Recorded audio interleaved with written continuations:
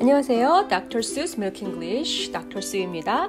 자, 오늘은 손들기 기능에 대해서 어, 줌 수업의 손들기 기능에 대해서 알아보는 시간을 갖도록 하겠습니다.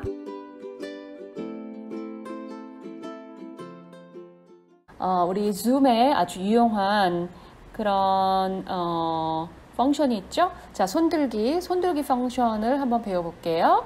자, 손들기는요, 여기 보시면은 여기 participants가 있어요. 그거는 참가자거든요. 참가자를 누르면 여기에 Karen, me, 그리고 host는 Dr. Sue's Milk English로 되어 있는데요.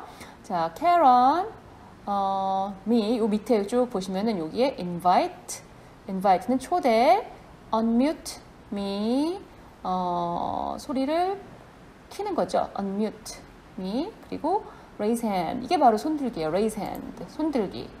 그러면은 선생님 창에 이렇게 손들기가 그려지는 거예요. 자, 그리고 lower hand. 그런 손들기가 없어졌죠? 다시 raise hand. 손들기, lower hand.